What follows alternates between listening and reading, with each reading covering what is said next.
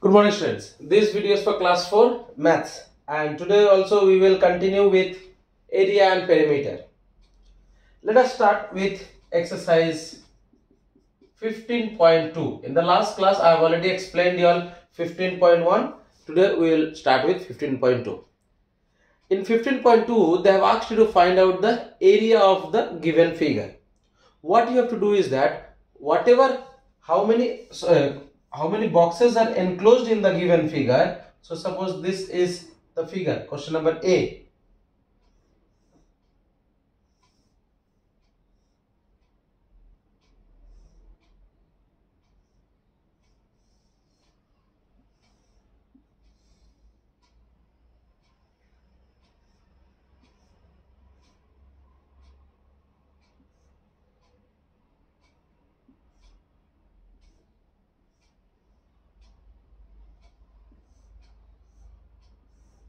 So now this is the given figure. How you have to find the area? You will write here area of the given figure is equal to you count how many squares are there 1 2 3 4 5 6 7 8 9 10 11 12 13 so this will be a 13 square sq means short form of square units because they did not give you any unit no centimeter no decimeter nothing. So you write unit. If they give you any unit then instead of unit place you will write the whatever unit they give you.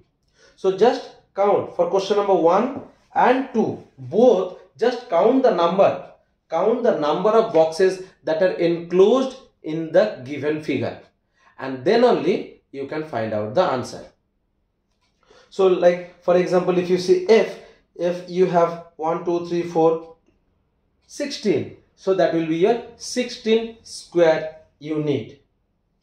So this is how you found this is how you find shapes uh, sorry area of the given figure. These are regular figures by counting. Now sometimes like for example so you all can do exercise 15.2 by just counting the number of squares that are enclosed in the given figure. Now if you come to, if you see, if you come to question number, uh, exercise number 15.3, they have given you few irregular shape. They have given you few irregular shape figure. So let us, let me show you how you will do 15.3 and then we can finish off our finish off with our syllabus because data handling will not come. So suppose question number 1a.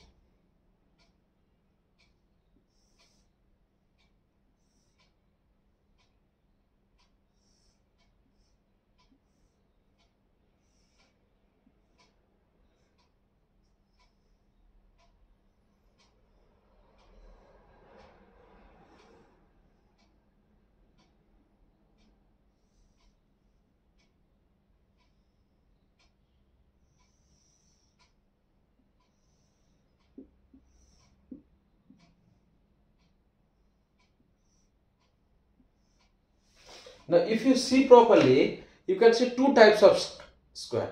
One is the full square and one is the half square. So how to find out the area of this given figure when you don't have full square enclosed? How will you do? In this case, you have to write, see, first you'll write number number of full square. Then number of more than half square. Then number 3 number of half square. And 4 number of less than half square and then you will add you will automatically get the answer now see full square is how much 1 2 3 4 5 6, 7, 8, 9, 10. So 10 full square. And half square is how much? 1, 2, 3, 4. So half square, you will write half into how much it is there? 4. So you will write 4.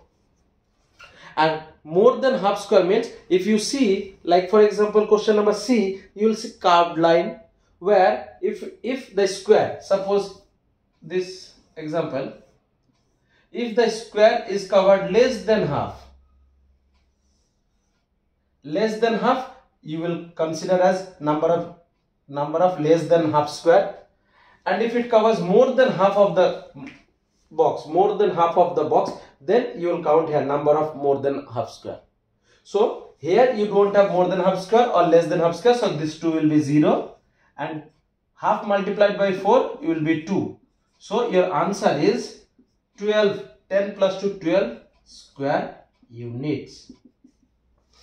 Now suppose suppose if there are more than half square that means the square in which more than the half square is covered in that case you will multiply by 1 how many more than half square? Multiply by 1 and how many less square? You will multiply by 0 if there are 5 less square 5 into 0 is 0 automatically. So less than half square we don't count. But more than half square we take this as 1 so full square also we count as 1 more than half square also we count as 1 less than half square we count as 0 we don't count. And half square how many whatever the number of half square is you multiply by 100 and uh, sorry you multiply by half and you take the number.